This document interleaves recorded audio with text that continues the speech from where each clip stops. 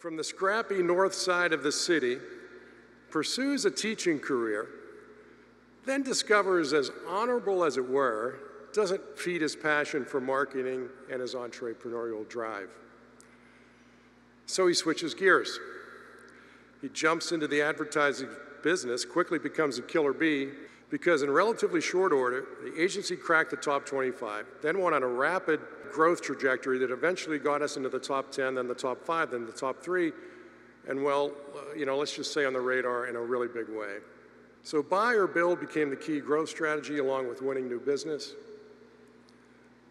Though I think the real secret to our success has been and continues to be our wonderfully inclusive culture that sustains us today. Michael, you've been a beacon, just like our big, beautiful sign, for so many, including me. Welcome, my friend, to the AdFed Hall of Fame. I got into this business because I had a real appreciation for the creative process and everything around it. Uh, I was truly enchanted. Uh, the business has changed a lot over my years, certainly. It's become more complicated. But it still comes down to really one thing, telling a cohesive story across the entire consumer journey. So what I want to do for the remaining few minutes that I have, I want to talk a little bit about the, some people that have, an, have had an amazing impact on my journey. And really, it's credit to all of them and so many that I can't mention tonight that have me standing up here tonight. So first of all, before I get to the business side, I'll start with my wife, Marita. Thank you. You know, you work in this business, you put so many hours in, you miss so many things, you miss events, you miss conversations, you miss a lot. You know, I did. I clearly did.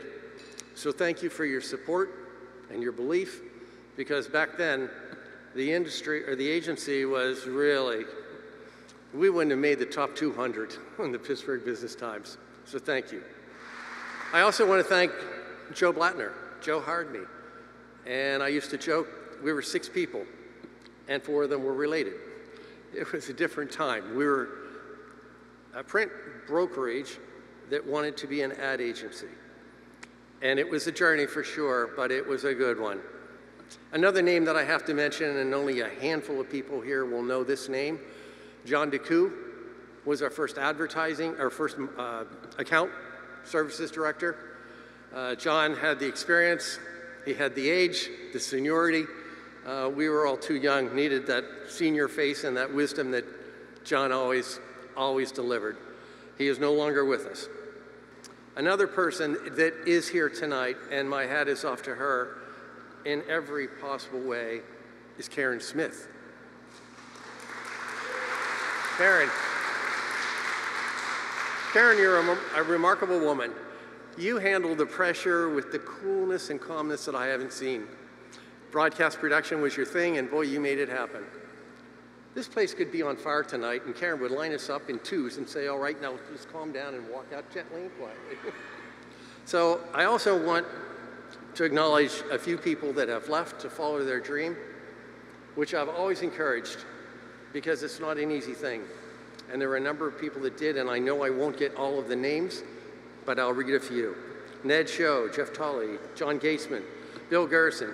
Bill, you've done an amazing job, not just here in the AF, but in everything you've done with the agency. So now I'll end with the partnership, the new partners of the team. As I said, I stepped out last year. I had the privilege and the pleasure of selling it to the executive team. And that doesn't happen every day. And when you do, you ensure one thing.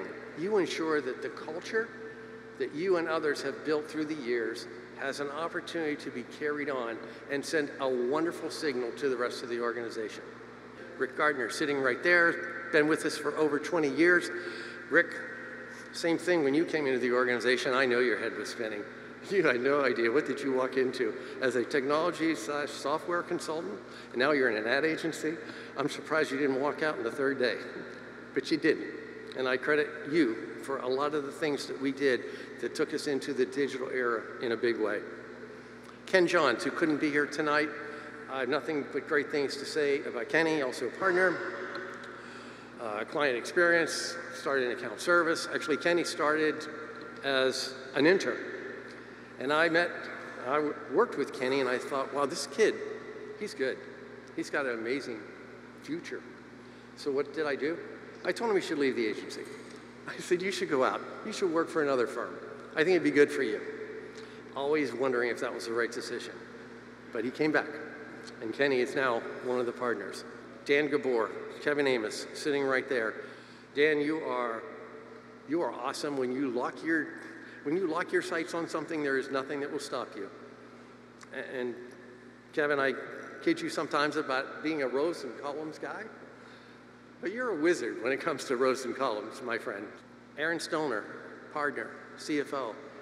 You know, qualities like dependability, reliability, trustworthy, trustworthy, you would think, okay, that's what CFOs are. Well, Aaron, you had all those qualities way before you were the CFO. You are, without a doubt, one of the most selfless people I have ever worked with. You are so much more than numbers. Thank you. And I'll end with Scott. That was the tall dude who came up here and read the, the beginning. Scott, you've been with the organization for most of your professional career. Uh, you've seen so many changes. New services, new people, people come, people go, clients come, clients go. Uh, but you were there. You were there the whole time. And you believed in what we were doing, and you believed in me. I'll end with something that I learned through the years, and it is so simple, absolutely so simple. And no one ever, or I didn't get it out of a book, it was just something that I learned. And it's very simple, and the fact is, you can get more from people willingly than you can ever compel them to do. All you have to do is let them know you believe in them, then they will pay you back tenfold by believing in you. Thank you, everyone. It's been an honor. It's been great to be in this industry.